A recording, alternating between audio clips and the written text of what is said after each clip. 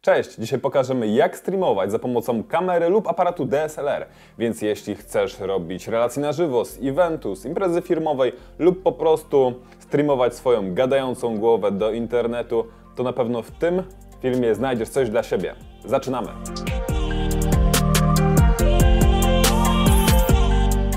Zacznijmy od tego, co potrzebujemy. Na pewno kamerkę, kamerę lub aparat. Dlaczego mielibyśmy użyć kamery lub aparatu filmującego do streamowania? A dlatego, że da na pewno dużo lepszą jakość.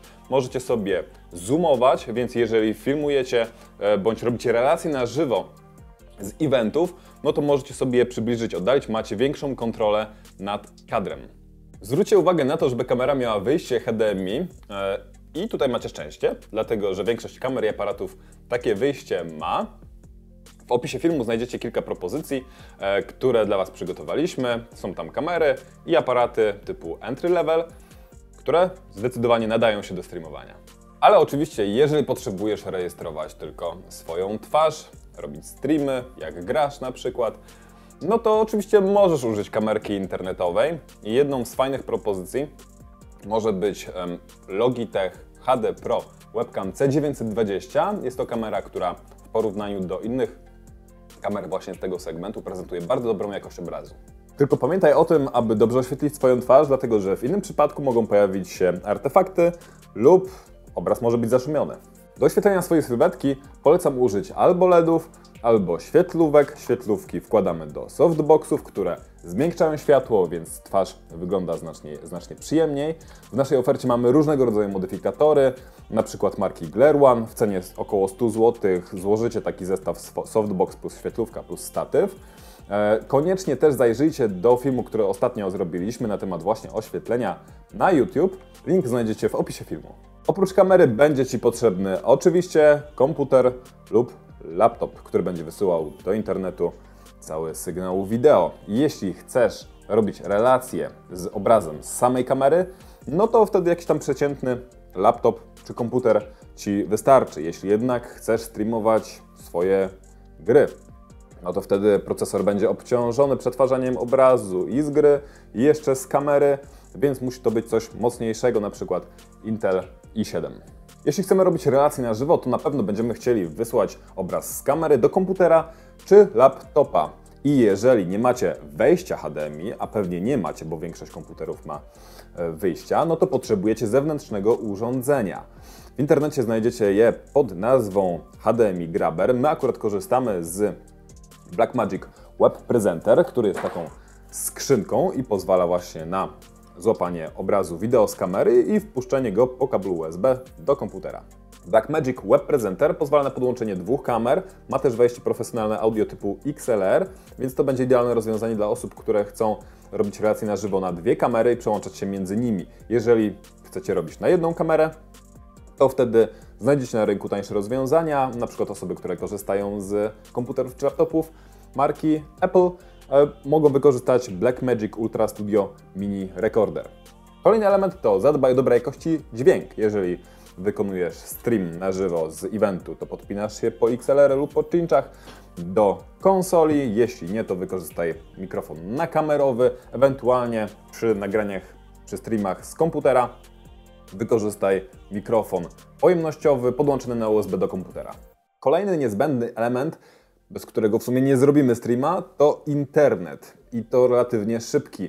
Prędkość swojego internetu możesz sprawdzić na stronie speedtest.net i wartość, która nas interesuje, to nie tyle download, tylko wysyłanie, to znaczy upload.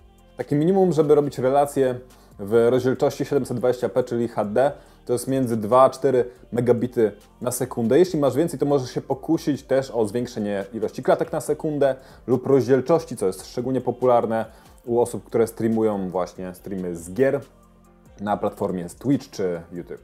A więc internet szybki. Mamy kamera z mikrofonem. Jest kamerę podłączamy po kablu HDMI do urządzenia zbierającego obraz i z urządzenia zbierającego obraz wysyłamy sygnał do komputera po kablu USB i nie potrzebujemy dodatkowych sterowników. co jest bardzo fajne, e, bo komputer wykrywa to urządzenie już jako kamerkę internetową. I teraz możemy bezpośrednio od razu już zacząć streamować na YouTubie, Facebooku i tak dalej. Jednak jeżeli chcemy, żeby nasz stream wyglądał bardziej profesjonalnie, polecam używać e, jeszcze zewnętrznego programu, który nam pozwoli sprawić, że nasz stream będzie wyglądał znacznie lepiej.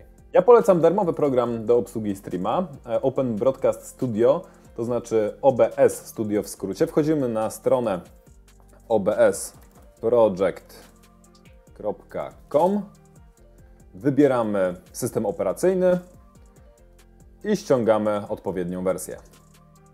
I tak wygląda główny ekran programu OBS Studio. Od razu wchodzimy w ustawienia, zmieniamy motyw na ciemny, po to, żeby ekran nie odbijał się od naszej twarzy. I od razu zaczniemy sobie od utworzenia głównej sceny. Nazwiemy ją główny stream. Dodajemy naszą kamerę, klikamy plusik, urządzenie do przechwytywania obrazu. Od razu widzimy, że program automatycznie wybrał naszą e, kamerę, a raczej urządzenie Blackmagic Web Presenter, e, lecz e, proporcje są nie, nie do końca dobre, bo 4 na 3 więc wybieramy ustawienia własne, wybieramy rozdzielczość i teraz wszystko się zgadza, są proporcje 16 na 9. Teraz jeśli nagrywacie event jedną kamerą, to właściwie to Wam wystarczy, powiększycie sobie tylko ekran, e, tak żeby wypełniał całą powierzchnię i możecie streamować. Jednak ten program pozwala jeszcze na dodanie na przykład takich rzeczy jak ekran powitalny lub ekran podczas przerwy. Dodajemy go sobie za pomocą plusików, wybieramy wcześniej przygotowane, e, przygotowaną grafikę lub animację, dodajemy tekst, powiedzmy przerwa 15 minut, zaraz wracamy, wypełniamy całą powierzchnię i mniej więcej w skrócie tak to można wykonać. Wy to oczywiście możecie zrobić lepiej, tylko musicie poświęcić oczywiście trochę więcej czasu. Jeżeli chcesz streamować na Twitcha lub inne platformy streamerskie, no to popularnym sposobem na układ okien jest pomniejszenie e, ekranu z e, obrazu z kamery. Dodajemy przechwytywanie gry. Wybieramy tytuł, który właśnie włączyliśmy. Teraz musimy obraz kamery przemieścić do góry na zasadzie warstw i możemy z Altem pomniejszyć okno tak, żeby nie łapało w naszym przypadku softboxa, który rozświetla nam tło. Część z osób mogła już się domyślić, do czego nam jest potrzebne zielone tło. Jest nam ono potrzebne do kluczowania, czyli do usunięcia tła, żeby było widać samą naszą sylwetkę na tle czegoś, co chcemy wyświetlać, na przykład właśnie gry podczas streamowania lub jeżeli prowadzicie jakiś kanał informacyjny bądź rozrywkowy, to żeby wyświetlać mm, na tle różnego rodzaju filmy, animacje czy właśnie zdjęcia. Żeby coś takiego zrobić, potrzebujemy właśnie zielonego lub niebieskiego tła. My konkretnie korzystamy z tła marki Fomei. Do tego jest potrzebny zestaw do zawieszenia teł. Może być na przykład Glare One. Jeśli nie możecie znaleźć, to kontaktujcie się z nami. Na pewno ktoś z naszej ekipy Wam pomoże wybrać odpowiednie. Do tego też trzeba je odpowiednio oświetlić. E, I na przykład do streamowania, no nie potrzebujecie aż tak bardzo dokładnego oświetlenia, dlatego tak jak my na przykład tutaj sobie świecimy softboxem i to nam będzie wystarczało, bo jeśli jednak szukacie bardziej profesjonalnego wyglądu, żeby to ostatecznie mm, nie zostawiało takich zielonych smug wokół Was, to musicie bardzo precyzyjnie takie tło oświetlić i wtedy wybierzcie sobie dwa lub trzy softboxy z mocniejszymi świetlówkami e, i również mogą być Glare Fan Sporta, na pewno coś znajdziecie na naszej stronie.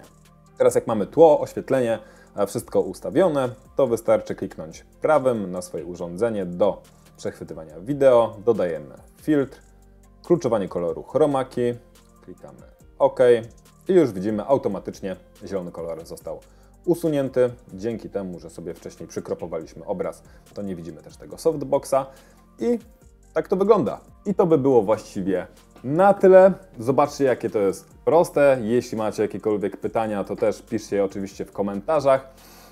Finalnie podsumowując, potrzebujecie kamery, komputera, internetu, jakiegoś urządzenia do przechwytywania obrazu. Jeśli chcecie się kluczować, green screen, e, jakieś oświetlenie na pewno również. No i to, to by było na tyle. E, jeśli macie jakieś bardziej właśnie precyzyjne pytania, tak jak wcześniej mówiłem, e, kontaktujcie się z nami i lajkujcie oczywiście, jeśli podobał Wam się ten film, a my widzimy się już niebawem. Do zobaczenia, cześć!